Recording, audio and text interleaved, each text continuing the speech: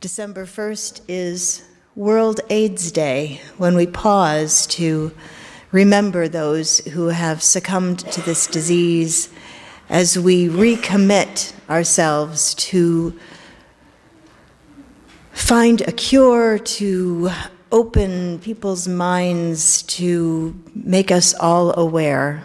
Um, and so I share these words from Maureen Killoran, and after which I will be lighting a candle. It has been a long struggle, and our work is far from over.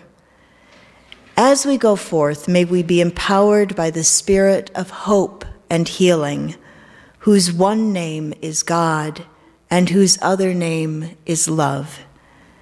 May the blessings of love be upon us and within us May love's truth be upon our wisdom and our vision. May love's wisdom dwell within our hearts. May love's persistence inspire our lips. May love's gentleness give comfort to our bodies. May love's gratitude accompany our sleep. May love's healing be a balm for our brokenness May love's serenity give peace to our souls. May love's confidence energize our minds. May love's challenge keep us faithful, faithful in our struggle, faithful in our conviction that love and justice and hope will ultimately prevail. In honor in memory, and in renewed commitment, we light this flame. So I wanted to show you just real quickly, uh, when I was in Transylvania this summer, uh, in um, some Hungarian speaking homes, I have a friend who's a Transylvanian minister, and she had made this for me. It's, it's the words of the Székely Áldás, the house blessing, in English, and, um, and I have it now hanging up in my house normally. Um, but people do really have the, the words of this hanging in their houses um, to remind them that, you know, where there is love and, and peace and where God is, that, that the house is blessed. So I in the Christian calendar of holy days, today is the first Sunday of Advent, the time of waiting before the coming of the Prince of Peace. There are four candles in our Advent display, and there are four opportunities to pause. Not just to pause, but perhaps to wait with anticipation. This Sunday, we light the prophecy candle, which symbolizes hope.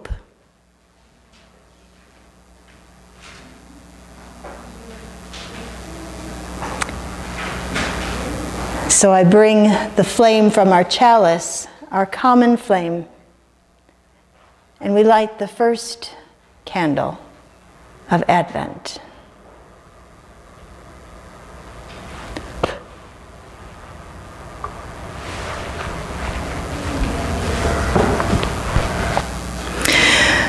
You know, hope is different from wishing. We might wish for a new bike, but hope is what makes it possible for us to get up in the morning. We come together each week to renew our hope and to prevent or at least disrupt hopelessness. This candle represents hope for a better tomorrow. As the prophecy candle, it commemorates the Hebrew prophet Isaiah, who foretold the coming of a Savior, not arriving with an army, but in the helpless form of a child. We wait in hope, and in that waiting, we light a candle to dispel the dark. And we raise up a prophetic voice to bring more hope into the world. Devon Southall and her daughter, Emma, are going to share with us some ways to bring more hope into our world. So come on up, y'all.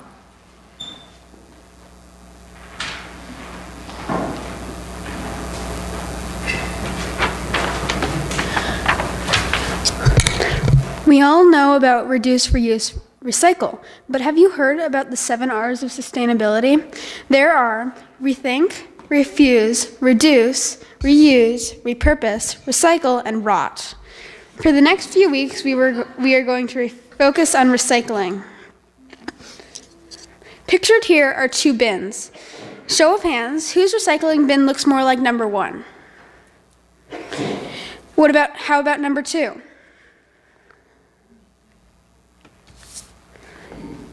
Good job, everyone. So, number one is problematic because of the plastic bags. Plastic bags become tanglers in the industry. So, the city of Rochester last year did a video last summer, and they said that they have to shut down the entire plant at least once an hour while the workers climb into the machinery and remove all of the plastic bags and other tanglers so that the machinery can start back up again. What are tanglers? So, tanglers are things like rope, clothing, garden hoses, plastic bags, and Christmas tree lights or holiday lights. There was a survey that the City of Buffalo Recycling did on Facebook last week of vote of whether holiday lights could go in your recycling bin. 20% of people thought that holiday lights could go in your recycling bin. Ah. so, no plastic bags. Take the bin out to the recycling tub and dump it in loose. Don't bag it. Now, my homework to all of you if you're not taking your recycling out loose, take it out loose. Number two, my homework to all of you is to talk to someone. I like to do the straw man. You know, I was hearing at church that most people, the number one problem with recycling is that people bag their recycling. Can you believe that? And feel free to mention the Rochester video um, because the city of Rochester put a lot of effort into shooting this video of how it bagged. And actually, the city of Buffalo Recycling shot a video of the recycling line about a month ago. Plastic bag, plastic bag, plastic bag. Literally, that's what it looked like. So that's your homework. Excellent. Thank you. So, when I told a friend the title for today's service, The Reason for the Season, they looked baffled for a moment and then said, But how do you talk about that when not everyone come, is celebrating the coming of the baby Jesus? Exactly. There are many reasons for the season, and we are going to explore some of the possibilities, your reasons for the season. Because whether or not you choose to celebrate Hanukkah, solstice, Christmas, Kwanzaa, or any of the other 20 or so holidays packed into the next 30 days, our culture expects that you will and that you will be filled with joy and goodwill, and nothing but sugar plum fairies will dance in your dreams. And you know, the holiday machine is a hungry beast, greedily gobbling up the contents of your wallet and your very reason. Every measure of success in our culture is tied to our role as consumers. Think about it consumer spending, the Consumer Price Index, consumer confidence, retail sales, manufacturing. So let me be clear we are more than consumers. You are more than a consumer. You are a unique expression of the universe, and you are designed for significance and meaning. You are a person with vast wells of creativity and curiosity, and you have unfathomable depths of possibility and potential. If you get nothing further from this worship service, please hear that you are blessed and that you have the permission and the power to say no to the holiday machine. Now, Kristina and I are not here to make you feel bad about your decisions to participate or not in the excess of the season. Sometimes Mae West is right. Too much of a thing can be wonderful. But I'm pretty sure she was referring to something other than holiday festivities. Rather, we are here to engage in some conversation about what makes this time of year meaningful. And if it's more manic than meaningful, to invite us all into some deeper reflection and possibilities for finding a little bit of peace, a little bit of joy. And so, I am pleased to welcome you to our fireside chat for the reasons for the season. Festive. Oh, I left my slide thingy. All right. Well, as we gather around the fireside, we have been thinking at the start of this holiday season about the reasons that we're doing this and, and what our intentions are about how to celebrate our holiday. And you know, as I was plowing through my many, many Black Friday emails about all the sales and all the exciting discounts that I could have if I ordered things on Black Friday, I came across something a little different in my email list, and it was from The Lion's Roar, which is a Buddhist magazine. They had a slightly different take on the holiday, and I came across this quote If consumerism is America's religion, then Black Friday must be its holiest day. On this day, millions of Americans congregate in public spaces to make devotional offerings to their sacred brands. Well, we know that as long as we exist in this world, we have to breathe, we have to eat, we have to wear clothes, pay taxes. But even though we have to consume to survive, we can, we can aspire to consume in a way that prevents harm and promotes benefit. So, even though we are encountering all the hoopla of the season this year, and as I drove down Main Street to get here on this strange, sleety day, I came across beautiful displays in the shop windows of Amy's Jewelers and Johnny's Cleaners, and these beautiful fantasies of what winter looks like in Western New York. But our reality is a little bit different here in December, on December 1st. It's a slight disconnect uh, with our fantasy versus reality. And so we're going to talk about that a little bit today. But when we talk about the reason for the season, we need to peel back all the historical and even astronomical layers of why we're here, why we have this holiday at the end of December.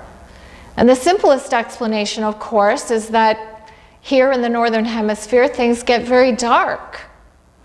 The longest day of the year, the dark and the cold, seem to cry out for something to get us through the winter. And so people for millennia have celebrated that winter solstice day as a special day of light and community and warmth. And in some ways, we're no different. But in other ways, we've, we've replaced the natural light that we used to experience with, with electrical lights, electrical fires. We've, in some ways, overcome all those natural rhythms. And so maybe it's time to rethink what are our reasons for the season? What do you think, Michelle? Well, so much of the the holiday holidays have to do with with bringing the light. So imagine that you were living at a time I mean, you don't even have to go back that far, just before electricity, and how tied humanity was to the cycles and the seasons. And imagine that it's it's the beginning of winter and the harvest is in. Finally, this this one time during the year, there's plenty. And so there's a feast, and there's storing things away for the coming time. And there, there are pieces of that that we bring in. It's, it's why we think about giving gifts. Um, it, it's tied to that sharing from the abundance that is we identify it as being sort of our consumer culture, but it's actually a part of who we are as humans, that when we have plenty, that we share. What a novel idea. If that were the overlay on, on the holiday, imagine how different, um, I don't know, all the advertising, all the everything would be um, if we were to really tie it into those original purposes for this season. Absolutely. And as UUs, we need to also think about our UU principles and values.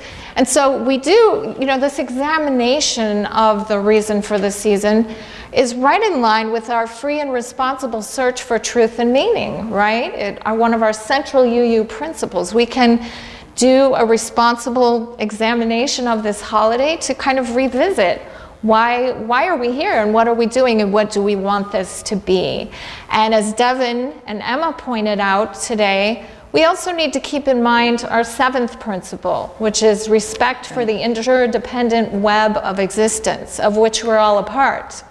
And think about the ways that our celebrating impacts the planet and impacts our environment and our local communities. So we'll be keeping those in mind as we go along too. That makes me think about a documentary I saw, I don't know, a couple years ago, of this village in China where they do um, the, the red flocking, the fuzzy stuff on ornaments and Christmas decorations, and this whole town is covered in this red fuzzy dust Imagine breathing that in. Imagine the impact on those people, on their health, on the planet.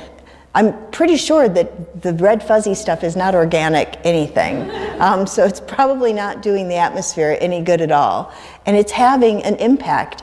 And it's stuff that we pick up at the dollar store, right? You know, oh, it's a, a cute resi, red fuzzy thing. I probably need 10 of those. Um, and, and we don't always think about what is the ripple effect? Who made this? What are the conditions of their lives? And as Unitarian Universalists, I think that's an important question to ask ourselves. Where does this fit into my values? Um, and, and I don't know, there's a bigger circle than just ourselves.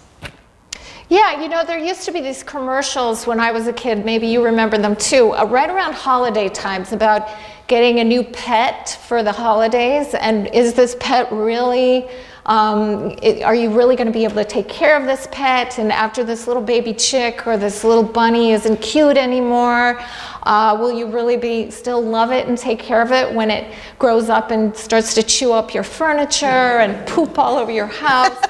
So you know maybe we need um, commercials like that to come back, but maybe we need commercials about, you know, the latest electronic toy or uh, the, the new slicer dicer that everyone's buying this Christmas or the little tchotchke with red flocking all over it. Are, is it really worth purchasing this thing? You know, do you really want to devote cabinet space to it? Are you still going to love that electronic whiz whirligig when it's two years old and it's no longer working very well? And, and, and are you still going to be happy with this purchase after it has to go to the landfill and become a part of our earth for the next however many hundreds or thousands of years before it biodegrades? So maybe we need commercials like that. Even though they might be a real bummer, I think they would still still help us to be a little bit more mindful about our holiday excesses. You know, the last couple of Sundays I've been preaching on gratitude and really becoming worthy ancestors. Uh, and one of the things that we talked about was the, the Haudenosaunee people would look seven generations ahead and what the impact of their decisions would be on seven generations. That's over 200 years. Imagine how different things would be um, if, if we had that sort of sensibility in when we are thinking about buying the next plastic thing. Um, what is the impact? And will I be with this for its whole lifespan? Clue no, you won't, unless you live to be a thousand years old. Um, and so we can begin to think about the, that bigger picture and helps us make decisions about how we give. It doesn't, we're not trying to blow up your holiday. Um, we're, not, we're not here to be the mean, grinchy types, um, but to be really mindful and thoughtful about how this has an impact beyond yourself. Yeah, so I think we're posing the question here if, if the reason for the season isn't the buying of stuff and the giving of stuff, then what is it? More about that later. But first, a word from our sponsors. All right, now that our minds and bodies are still, I'm going to invite you to continue to focus on our reasons for the season and and this technique is based on uh, a Buddhist technique of exploring our our feelings and our thoughts and our cravings to understand more about ourselves and what it is that we really want and to be more present to the to the actual reality that we're living in the present moment. So I invite you to close your eyes if you feel more comfortable that way. Get comfortable and focus on a holiday memory. It could be a memory or it could be something you always wanted but never got, but something that holds a sense memory for you. So either a smell or a sight or a sound that really is the essence of the holiday for you. Okay, do you have a memory like that? Focus on how you felt when you experienced that thing, that memory. And just hang on to that as we have our little discussion. And you can open your eyes now and we're going to think some more about these holiday fantasies, memories, holiday nostalgia that we all hold. What about you, Michelle? Well, I have to say, when I think back, aside from one or two significant Christmases, um, one of them being the year my two grandmothers got me the same outfit. That was, that was tense. Um,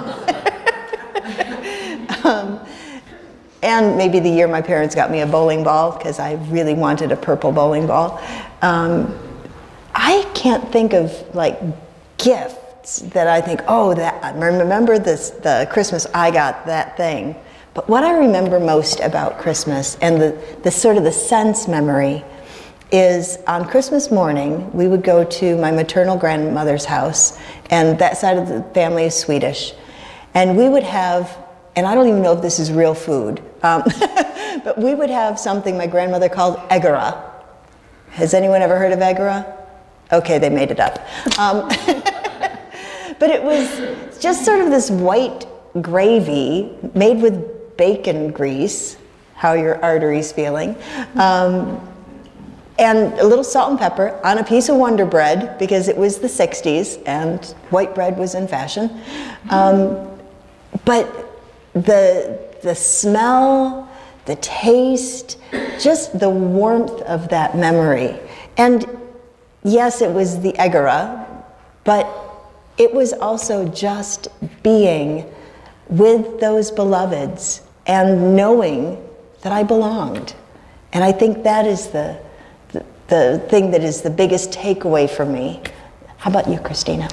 Well, it's interesting. Um, so I came from a military family, so we, we were in many different places over the years for Christmas. So Christmas had different smells and tastes and sights. Sometimes we were in California where it was, you know, there were palm trees swaying, and other times we were in places with snow. But the one thing I do remember that I focus on when I do this exercise is a little book we had called The Sweet Smell of Christmas. And it was about a little bear. It was a scratch and sniff book and there was a page where he had a little piece of gingerbread and i just remember the smell of that gingerbread scratch and sniff thing. And i remember that more than i remember the smell of real gingerbread because we didn't really have that very often. So this was actually one remove away from reality already because we were just reading a book about gingerbread. But it's interesting um, the, the researchers that wrote uh, these books, the uh, $100 Holiday and Unplug the Christmas Machine, which is a guide to sort of having a simpler holiday. Um, they say that children, what children really want are four things. Relaxed and loving time with their family, so that sounds like the Egara experience for you, realistic expectations about gifts, uh, an evenly paced holiday season that isn't too filled with stress, and reliable family traditions. And I think that book for me was a reliable family tradition because we had it every year, no matter where we were located. So that little smell that I still remember had something about it that there was a memory and a feeling attached to it of comfort and uh, trust that our holiday would be, there would be something familiar about it year after year. So if, if your family always has waffles, it's not the waffles, it's the love. it might seem like the waffles, and it might seem really important that the waffles are present, um, but it's really it's the being together, um, or it's the solitude. If that is your best dream of a holiday, is just you in the quiet. It's still not the waffles. It's it's you. It, it's what's important to you. We're ready to think about our personal reason for the season because that memory probably holds the key to what your real reason for the season is. So think back to that sense memory you've selected. What was it that gave that so much meaning? What is your reason for the season? There's probably a feeling and a value associated with that memory. Something like here are some ideas connection, closeness with family and friends, reaching out to those far away, reestablishing intimacy with loved ones. Comfort, relaxation, unstructured time, letting go of expectations, eating comfort foods. Wonder, seeing and hearing and perceiving beauty, being filled with awe, finding inspiration. Hope, the belief that the future can be good, a feeling of trust in life's promise. Joy, moments of piercing loveliness, peak experiences, sensory delights. Abundance, feeling blessed, feeling generous, sharing your gifts. Contentment, a feeling of peace and being exactly where you want to be. Or your, your reason for the season could be something else. It could be something like creativity or simplicity or even detachment. Only you know what it is. And because we're UUs, we can all have different ones. So once you have that sense of your reason for the season, you can use it as a guidepost throughout the next month. You can ask yourself, does this activity or this experience or this purchase, does it increase my level of, and then insert your reason for the season, joy, comfort, connection. If it does, then proceed Proceed with presence and enjoy yourself. And if it doesn't, if it doesn't resonate with that deepest value of yours, maybe rethink and go in a different direction. So, in this month's uh, newsletter, the foreword, um, you will find a whole list of possibilities in Kristina's column um, of tangible ways to to celebrate authentically with intention, to think about the impact of our choices, and to make decisions and choices that make us truly worthy ancestors and bring more joy to ourselves and to others, and hopefully remove some of the stress um, so that you don't get swept into that rushing madness um, that so often accompanies the season. I usually do really well, and then it gets to be Christmas Eve, and I panic, and I, I like run to the store and start buying things. So this year I'm going to hide my keys because I don't need to do that. it's just, I think it's the accumulation of all that, I don't know, all the noise.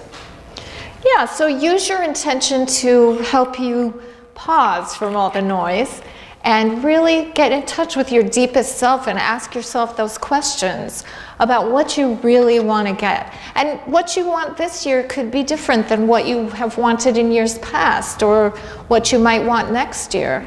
Um, it all depends on what's happening in our lives. But I think being intentional and mindful about the holiday season can really help us have a season and, and, a holiday that reflects our values and that we can enjoy and be proud of as well. So the point isn't really to stop giving, it's to give the things that matter, to give your time and your attention, to make memories, and to create whimsical traditions if you want to. So, in one of, I can't remember which of these books I was reading, there was a family that that the, the gift that got passed from year to year and you never knew who was going to get it was some terrible holiday tie. And that one time they actually baked it into a cake. I'm like, that's fun. That would be a thing that I would really look forward to if you're thinking of whimsical ways to um, enchant yourself and others. Yeah, so our wish, our combined collective wish for all of us here is that we have a beautiful holiday season that brings us all joy and presence. Presence so, with a C. Presence with a C. and maybe a few really important and, and sustainable presents also. Shall and we with that, I think we're ready to sing our closing hymn.